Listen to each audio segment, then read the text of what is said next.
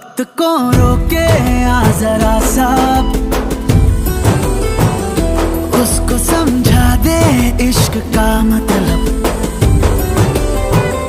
छोड़ के जिदिए मान लेगा।